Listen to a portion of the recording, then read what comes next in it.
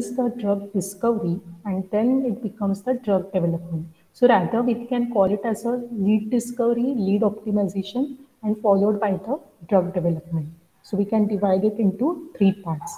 Okay. Now, the definition of drug, you have been dealing with it since uh, many years, basically from your first year B Pharm, you know what do you mean by a drug, right? So definitely it's a foreign particle which is getting introduced, right? So this is the syllabus which we will be dealing with, which I already discussed. Yeah. So we were at what is a drug. So drug means it is any foreign particle which is intended to be used in either the diagnosis or cure or mitigation, treatment or prevention of disease in man or other animals. Okay? Because you know even there are certain drugs that are for veterinary purpose. That is just not for humans it is for the animals as well.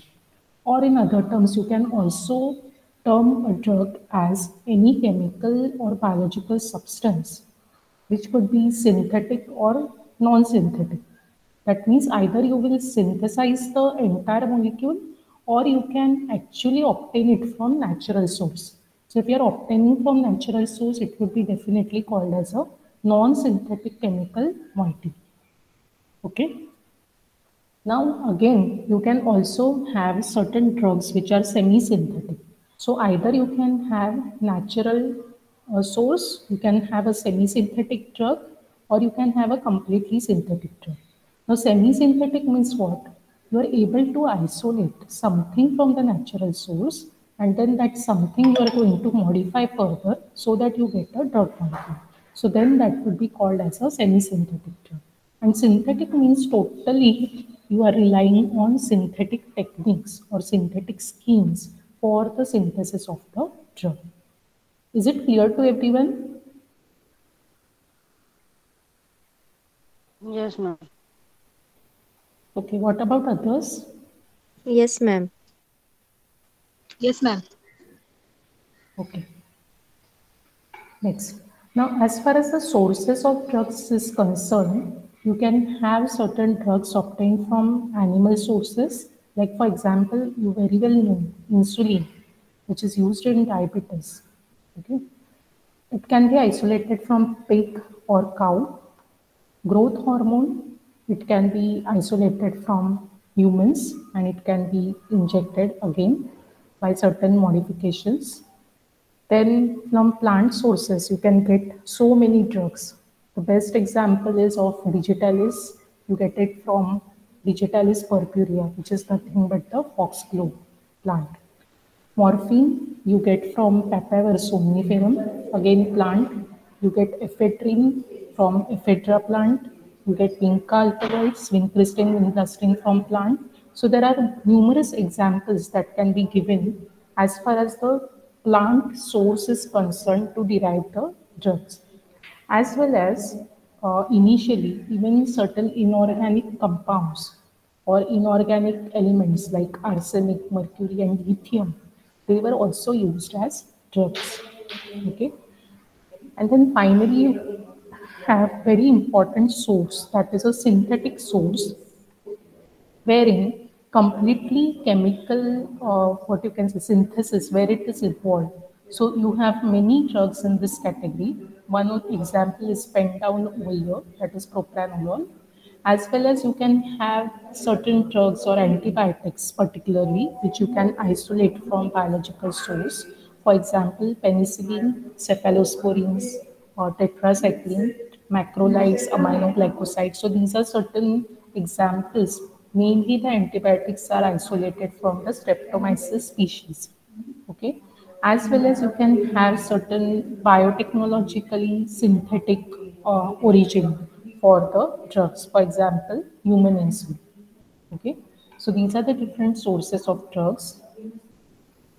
Now, as I told you, when we are talking about drug discovery, it is not actually the drugs that are discovered. Mainly what you are discovering is a lead compound or lead. Now this lead is nothing but as far as the definition is concerned, it's a preliminary compound, or you can call it as a prototype compound that definitely has got very much attractive features which are important for the desired biological activity or pharmacological activity. Now, when I say biological activity or pharmacological activity, biological means I'm talking in terms of, say, certain bacteria or viruses that are causing infections.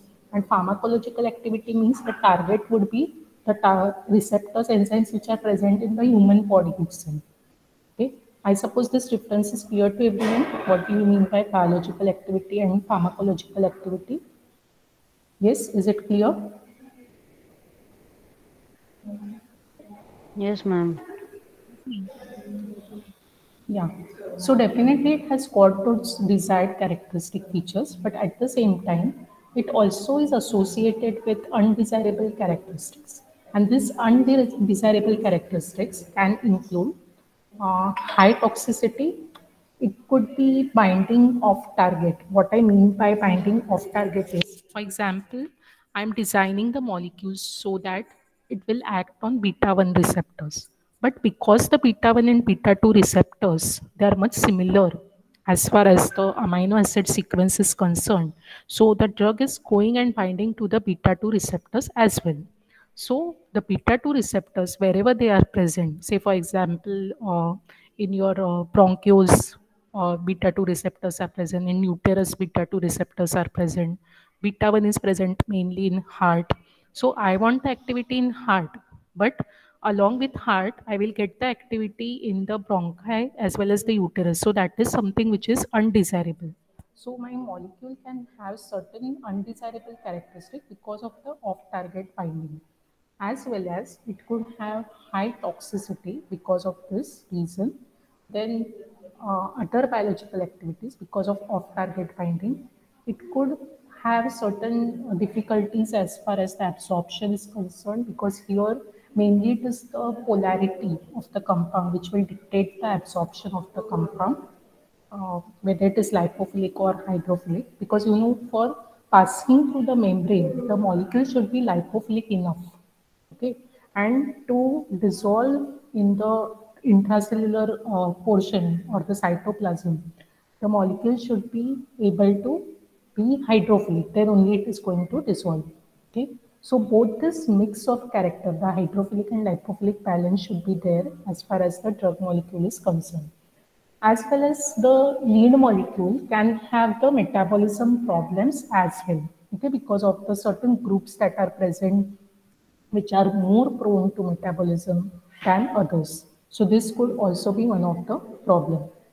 So then what you do, you take the lead compound and you modify it in such a way that you are increasing the desired activity or you are amplifying the desired activity as well as you are trying to minimize or eliminate the unwanted properties. So when you do that, you will arrive at a point where you will get a drug candidate. Okay, now, this drug candidate is a molecule which is nothing but a compound that is worthy of the extensive studies related to the biology and pharmacology. Okay, and then whatever molecule we get after these biological and pharmacological studies, that would be called as a clinical candidate or a clinical drug. And then the compound is ready for the clinical trials. Initially, the biological and pharmacological studies would be carried out in animals, so that are your preclinical studies. While later on, the molecule or the clinical drug or drug can, uh, clinical candidate, that molecule would be undergoing the clinical trials, phase one, phase two, and phase three. And then further, the development process will occur. Drug development process will occur. Any doubts in this part?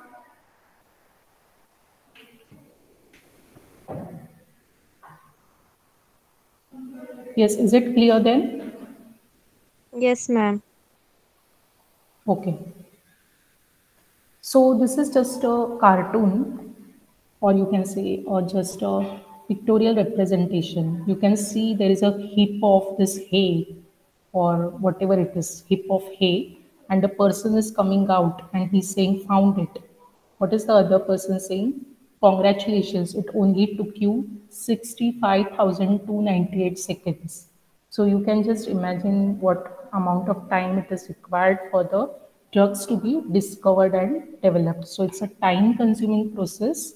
It's a, a money consuming process as well. You need a lot of patience as far as the drug discovery and development is concerned. This is another representation which is given in the same book, Richard Beale Silverman, which is your reference book for the topics which I would be covering. So